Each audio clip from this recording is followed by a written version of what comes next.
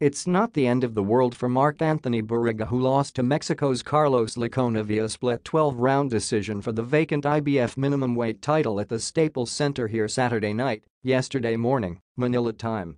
Licona's trainer and former IBF super featherweight champion Robert Garcia described Barriga as a heckuva fighter and predicted he will become a world title holder sooner or later.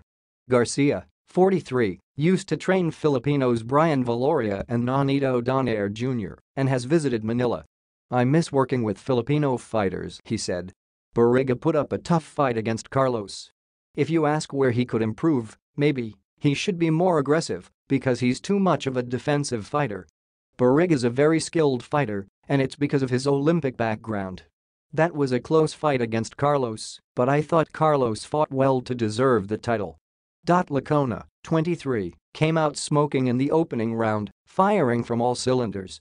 Barriga, 25, settled down in the second stanza, but it was clear Licona took charge in the early going. Barriga, a southpaw, hardly threw combinations in the first few rounds, raking Licona with his right jab but keeping his left under lock.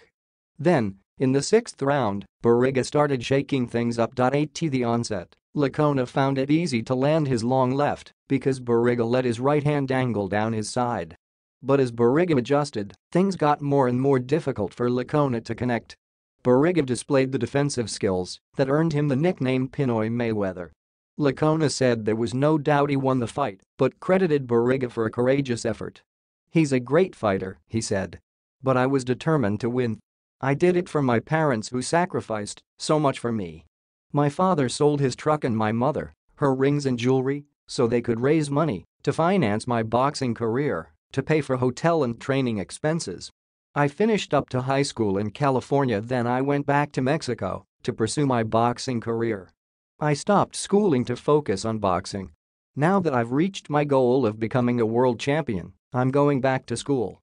I'll continue boxing but eventually, I want to become an x-ray technician. Licona said his father makes a living by selling furniture, while his mother is a housewife.